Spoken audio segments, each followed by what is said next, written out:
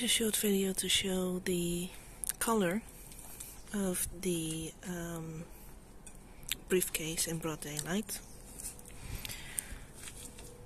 Uh, still very nice after a month of daily use.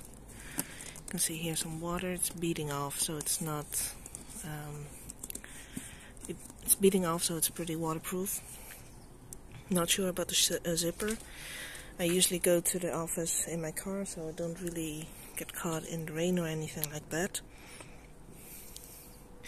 You can see the color is really bright when it's when it's uh, on the outside. And here you can see that it's slightly darker depending on uh, shadow. So it really absorbs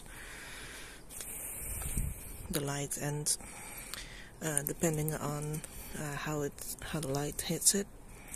Really beautiful uh, still use it daily for a month now and uh, holding up really well. Bottom here, no scuffs, no scars, just a really uh, well made, well made piece of brief briefcase